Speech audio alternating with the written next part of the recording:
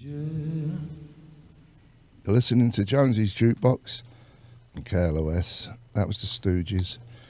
Give Me Danger, Little Stranger.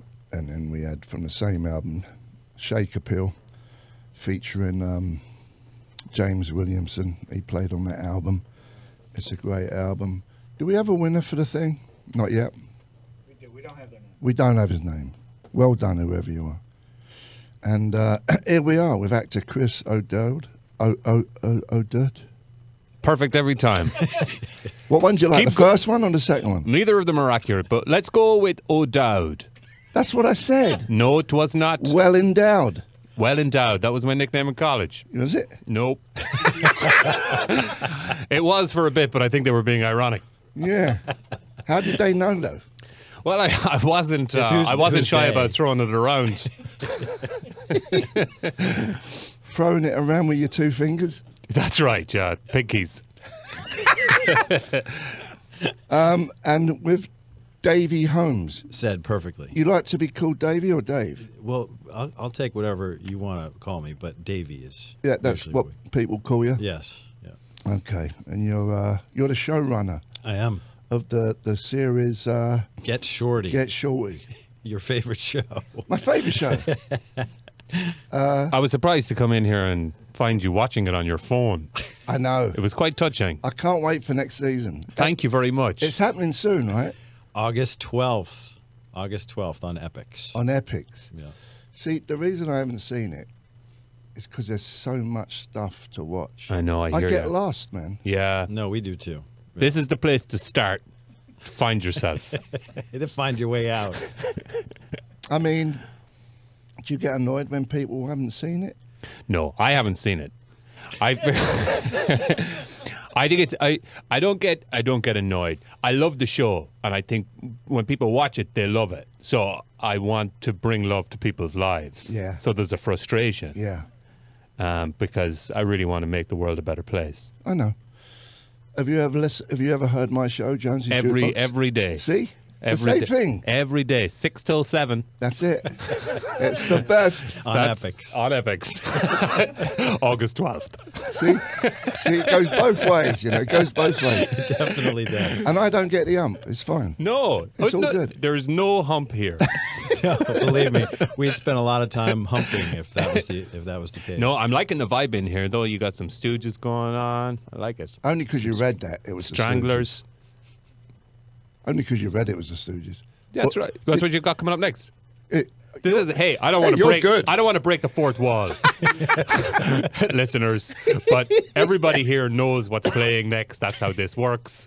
Yeah. Um, you're in for a treat. They're going to put on the Pogues in a bit, which has something of a kind of a punk, while traditional aspect to it. Um, I saw he got new teeth. he did. He did. He got some new teeth. Didn't I? Don't like them.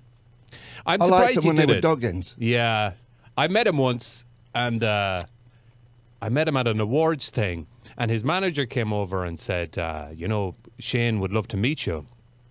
And I was like, "Oh God, okay." And I went over and I, you know, was kind of waxing lyrical about what his music did for me growing up and all of this kind of thing. And it was a kind of a, it was an awards thing, so it was a black tie thing, and I had the jacket off. I was sweating a bit, and I was chatting and chatting. And I was kind of waiting for him to say something, but he wasn't much of a talker, so I just kept talking.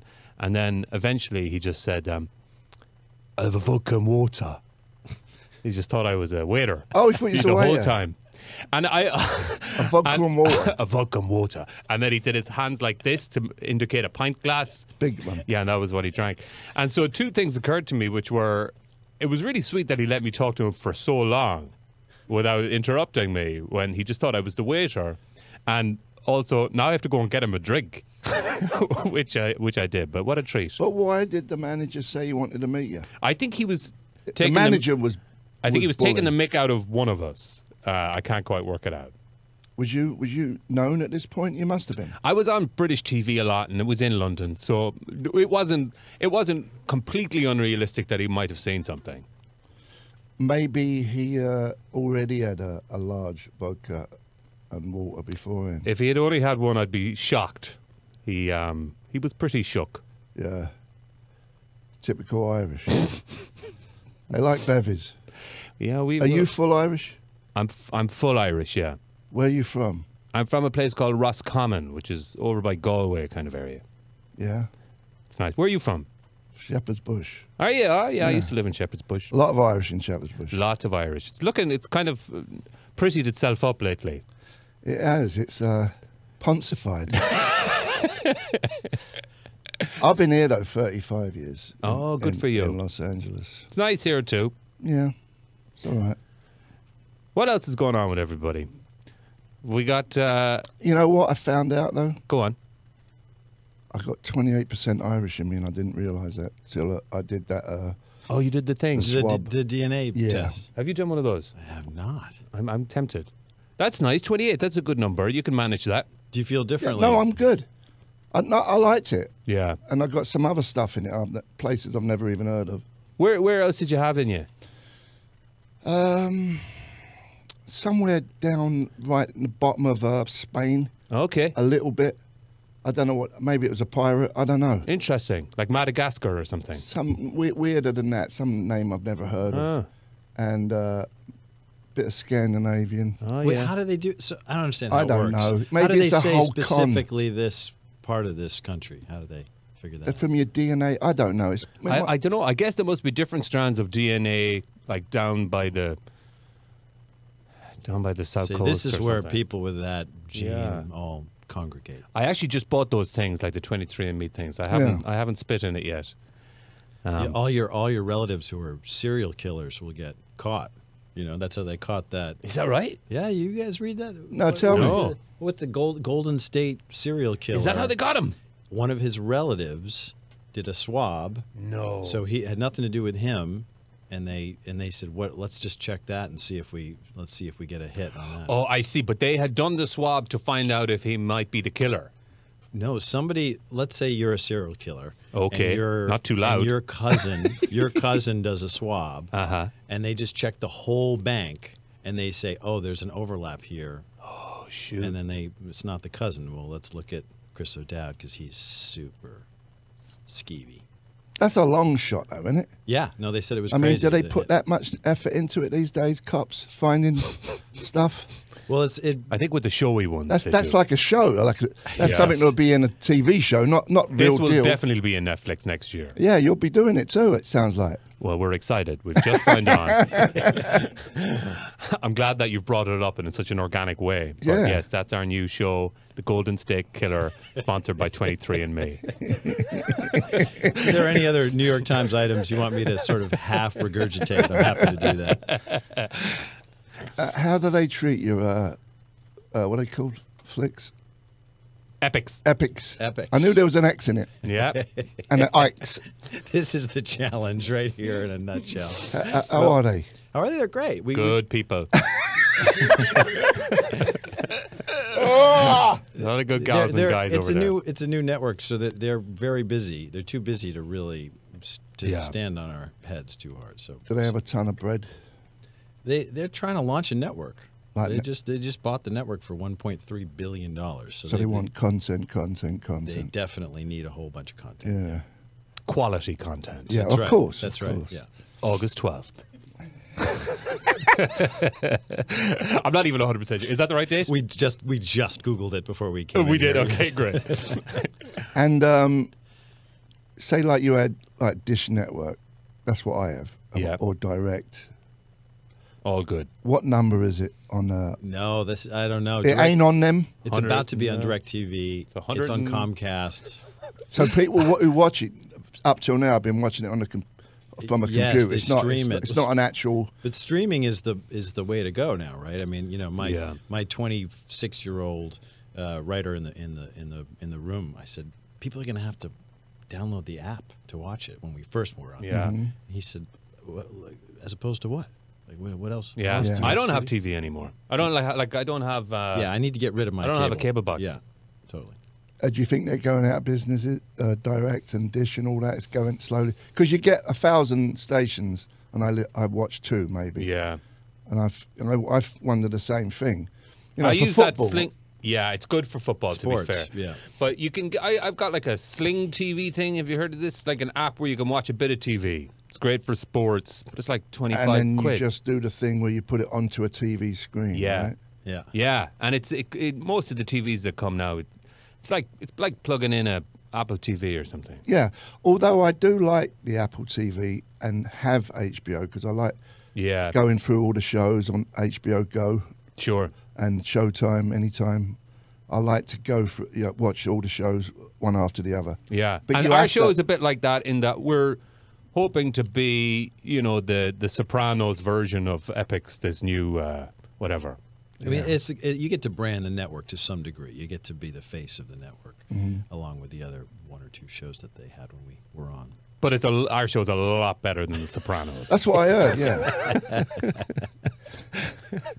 um, so uh, you used to play drums in the Bosstones. I, I played keyboards. Keyboards? uh, for their first album. Yeah, yeah, uh, in 1989. Davey Holmes Yes, on keyboards, yes. and uh, you went on the road and all that. Yeah, I've been trading on it for the intervening 30 years. yeah. Because Dickie was Yeah. when I was at uh, the other radio station, Indie. Yeah. he, he, he was on there in the morning. He he came to set. He Dickie came to set and sat and watched Chris doing in doing a scene in an editing room, uh, which was probably electric, I would think. But anyway, he came and he came and watched.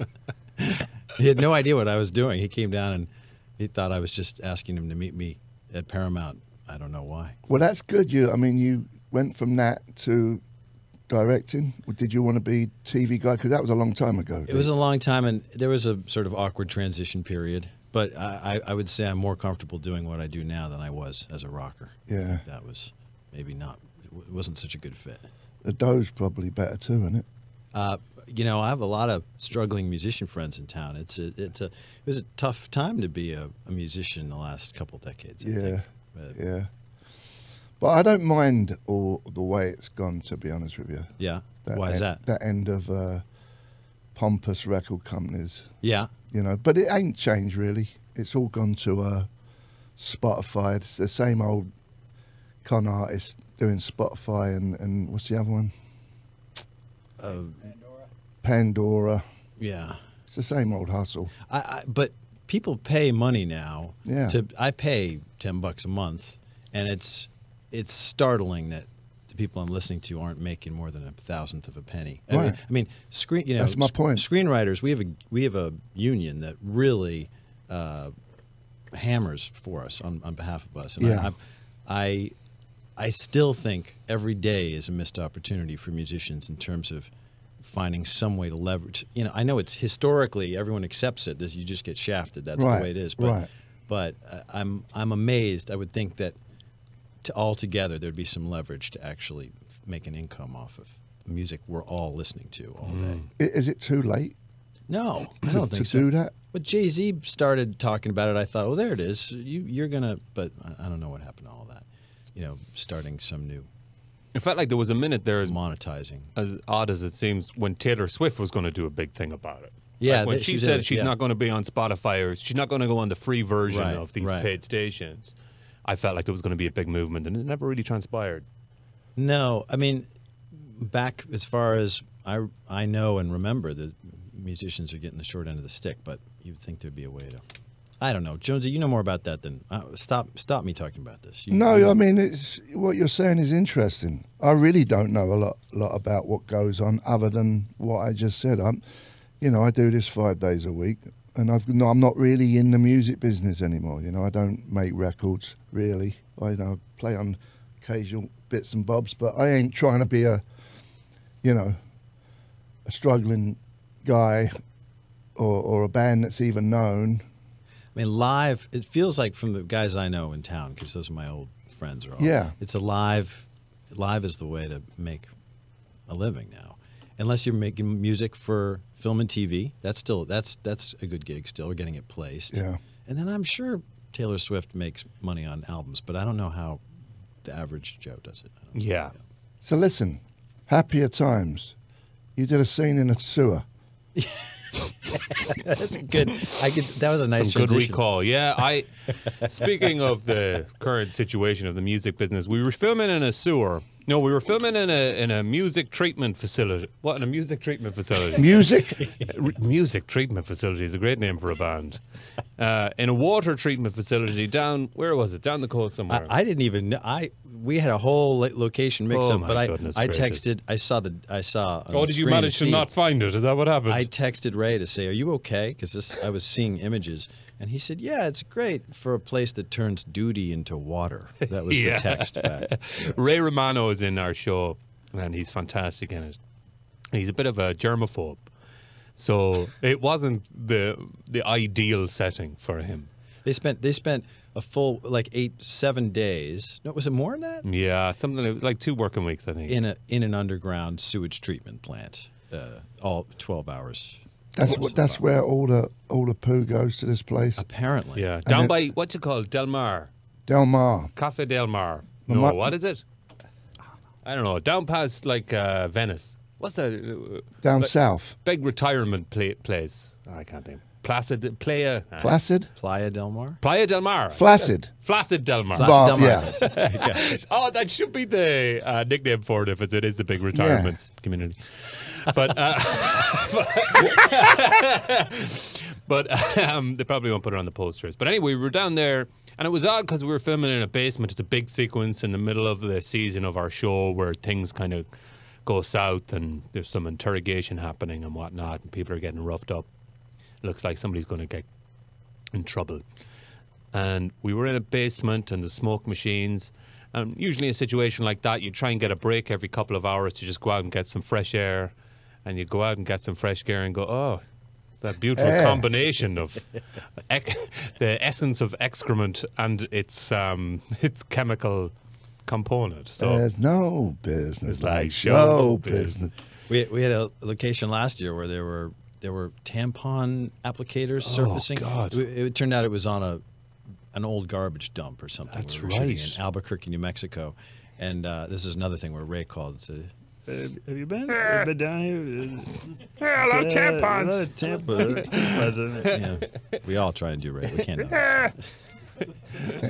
this. Sounds like. lot of Uh, menstruation down here.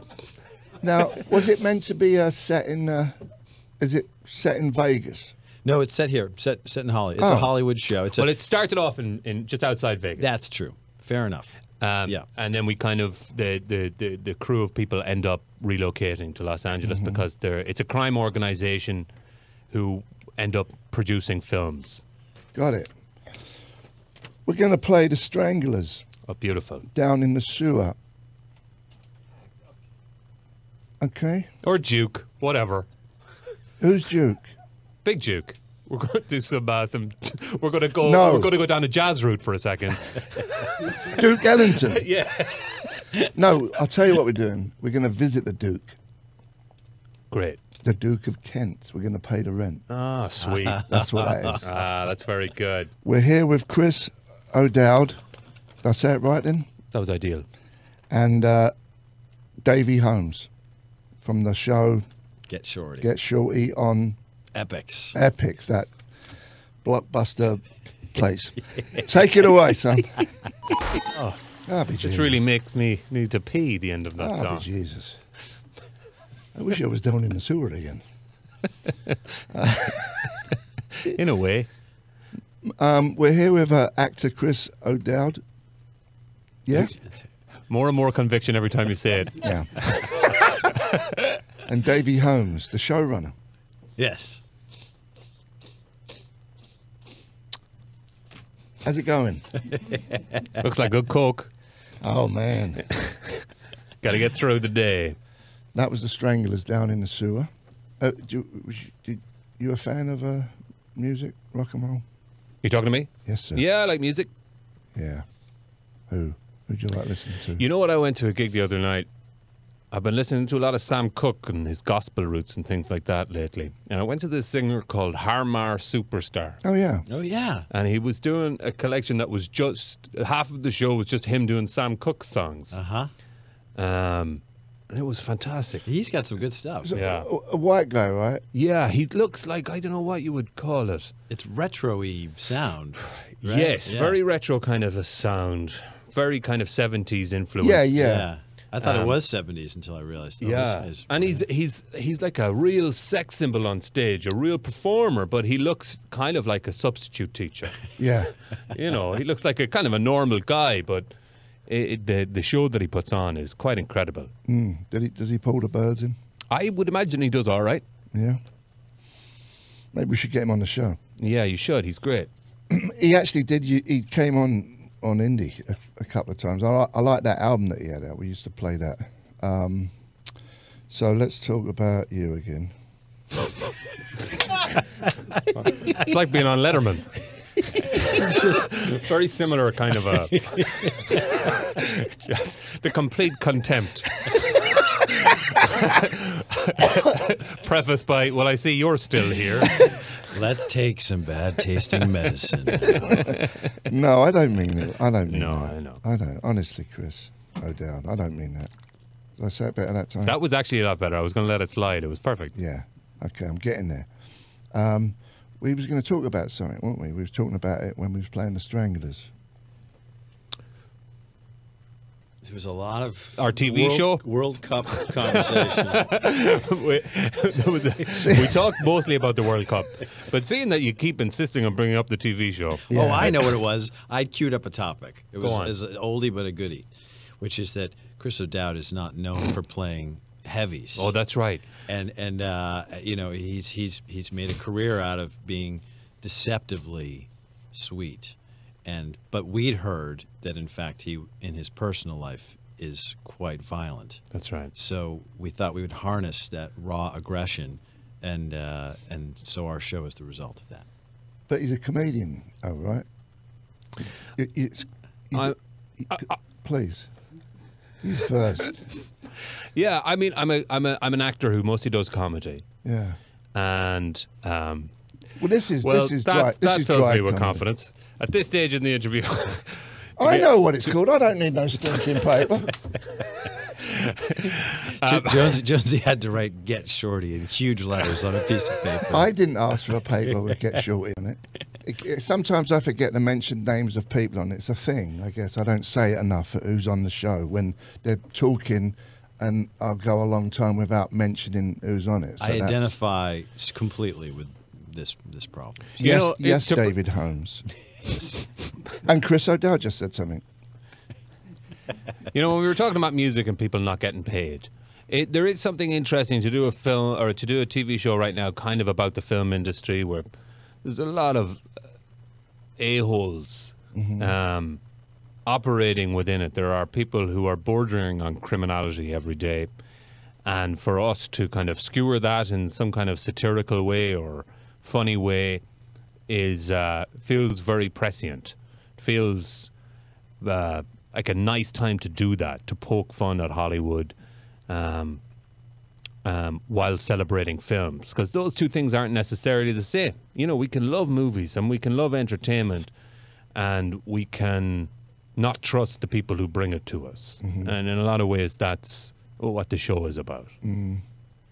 Yeah, and there's some wish fulfillment too, in terms of if you've ever wished you could uh, go, you could use a, a little physical menace to to get what you want in the world, or to put somebody who deserves to be put in their place in their place.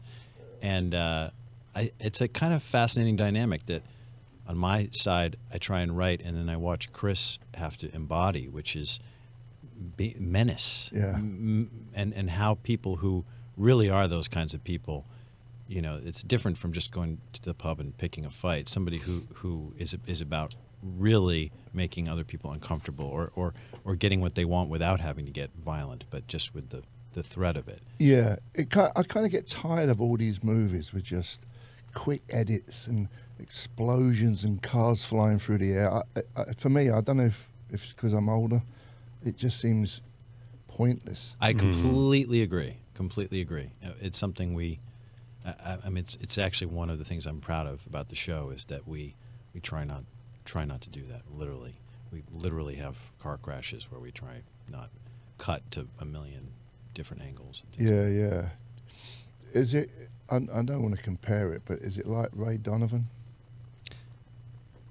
There's similarities. I haven't watched an awful lot of Ray Donovan, but I, he's a kind of like a fixer in Hollywood, I think. Yeah, I think there's some plot similarities, and and we we're both fans of that actor and and uh, the network as well. But but um, the, we're we truck in ironic humor, uh, whereas that's quite a serious show. I think. Yeah, so you, this season starts uh, Sunday, August 12th. Oh, is that right? That's a long way away. Yeah, but you can watch the first season in anticipation. Yeah. It's available on Epix, any of the apps, or you could probably get it illegally if you looked. Oh, we're we're apparently a, a highly downloaded uh, show illegally. My family in Ireland have been telling me how much they enjoy it, and everybody I meet in Ireland has been telling me how much they enjoy it. Started since it came out. Season two. on. Um, n- season one. No, it's I'm not on in Ireland. It's not on in Ireland. so, Oh, oh. so they're doing relatively well. yeah. Um, so search. It just came out in the UK though. It's on That's Sky, right. Sky Atlantic. That's right. So you're going to be the man again in England. Yeah, Where's that Pogues geezer now? I know. I'm sure he's doing fine. I presume if we really look for him, we'd get him down the gym or whatever. Yeah. So uh, are we knocking it on the head? We was going to play uh, It's been such a treat being here. Thin Lizzy. Yeah. Ah, it- Thin Lizzy indeed. I'll ah, be Jesus. Before we take off, we do need to give away a pair of tickets for Nine Inch Nails if you want to do that now. Oh, nice. Okay, go on then. Okay, KLOS and Jonesy's Jukebox welcomes Nine Inch Nails with the Jesus and Mary chain. Two shows added at the Hollywood Palladium December 14th and 15th. Those tickets are on sale now, but we have a pair for caller 25 at 800 955 KLOS. This is for the December 15th show, and those tickets are furnished by Live Nation. Cool. We got anyone else on this week? Don't know yet. That's a no. Just these two. we'll come don't back. know, We'll yeah. come back. J- just these two. I'm kidding. Uh, these two meaning Chris O'Dowd and Davey Holmes in the show Get Shorty on uh, Epix. Epix. I can't get that in my head, man. It sounds too much like Netflix. I'll have a word. Do you know what? It's it's been such a treat being here. I listen to the show all the time, and it never even occurred to me that you all did it naked. But now that I'm here and it's so hot, I can understand why. See? Thanks for coming by, guys. It was really good. I know I seem like I'm taking the piss, but I'm not. I've been No. away for a week and I got ain't got my chops down. Uh, I'm totally honored and excited to be Yeah. here. So thank you. So thanks for coming. Thanks for having uh, us. We're going to leave you with Thin Lizzy doing uh, Black Rose. See you tomorrow.